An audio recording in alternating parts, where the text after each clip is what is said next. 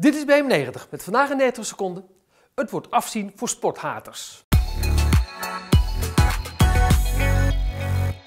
Sporthaters, wees gewaarschuwd. Jullie gaan een loodzware tijd tegemoet. De NOS pakt zowel op televisie, radio als online uit met maar liefst 10 weken lang live topsport. 51 EK voetbalwedstrijden, 21 etappes van de Tour de France en niet minder dan 220 uur rechtstreekse tv vanuit Tokio tijdens de Olympische Spelen. De eerste 12 dagen van het EK voetbal, van 11 juni tot en met 11 juli, zijn er zelfs drie wedstrijden per dag, plus natuurlijk uitgebreide voor- en nabeschouwingen met presentator en tweede analisten. Opvallende nieuwe namen daarbij zijn Marco van Basten, Wesley Snijder, Kenneth Perez en Nigel de Jong. En ook goed dat vrouwen als Manny van den Berg en Leon Stentler serieus worden genomen als analist in dit mannenbolwerk.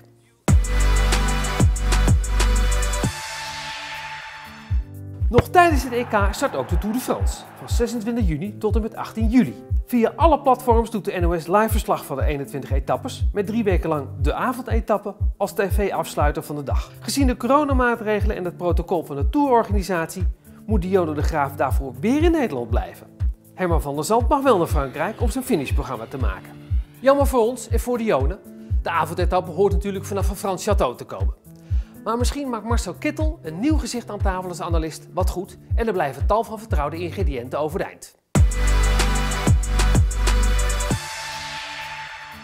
En dan de Olympische Spelen, van 23 juli tot en met 8 augustus, als het mee zit. De NOS heeft een sublicentie van rechtenhouder Discovery Benelux, waardoor toch 220 uur televisie op NPO 1 en zo'n 120 uur op NPO Radio 1 mogelijk zijn. De Spelen komen dit jaar trouwens niet alleen uit Tokio, maar voor een groot gedeelte ook uit Scheveningen, waar langs de lijn en de dagelijkse tv-talkshow NOS Studio Tokyo worden gemaakt. Vanwege tijdverschil, het is in Japan 7 uur later, beginnen de live-uitzendingen wel midden in de nacht en lopen ze door tot halverwege de middag. Dat is dus weer het voordeel van de sporthater.